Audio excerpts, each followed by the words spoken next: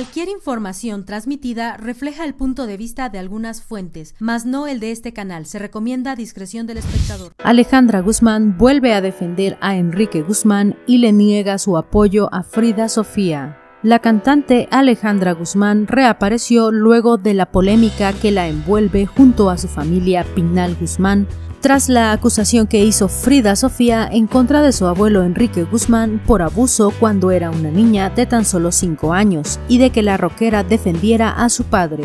Fue durante una entrevista para el programa Me lo dijo Adela donde Alejandra Guzmán tocó desde el inicio el tema de su distanciamiento y las recientes declaraciones de Frida Sofía.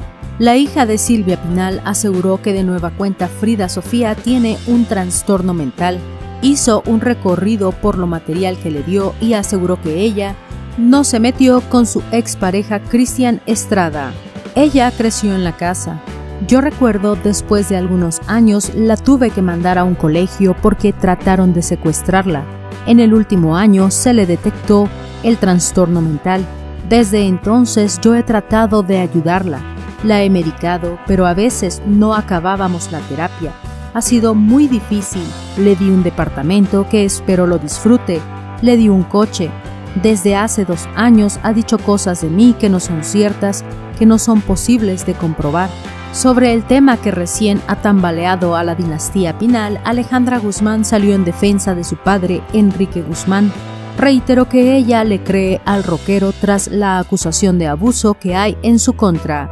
Además, aseguró que si no ha demandado a Frida Sofía es porque es su hija, pero que si su padre las realiza, ella lo apoyará. Más adelante Alejandra Guzmán no descalificó la denuncia de su hija y comentó que ella lanzó las fuertes acusaciones porque le dejó de dar dinero. No sé por qué es la ira desubicada, yo creo que es porque le dejé de dar dinero. Es increíble que hasta ahorita no se pueda defender y mi padre sí tiene que hacer las acciones legales. Yo he estado en el lugar donde estuvo mi padre. Toda mi familia tenemos miedo a lo que pueda pasar después.